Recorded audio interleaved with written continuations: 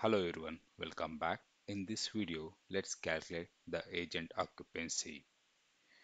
The formula will be occupancy percentage is equal to productive time divided by net working hours. Productive time includes talk time, hold time and wrap up or ACW time. So we have the agent details from 1 to 5.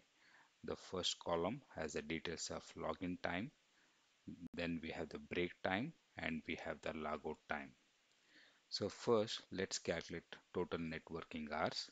For that I'll apply formula is equal to the logout time minus login time press enter.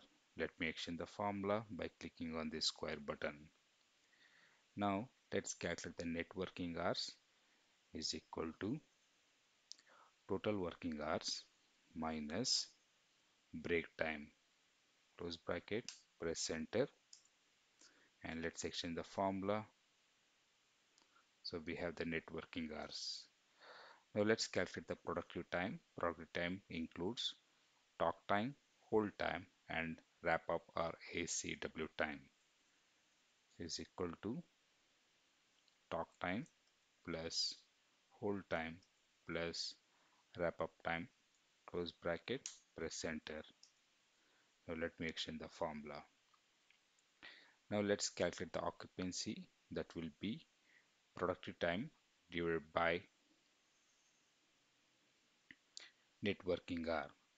So is equal to productive time divided by net working hour press enter and now let's section the formula. Here is the result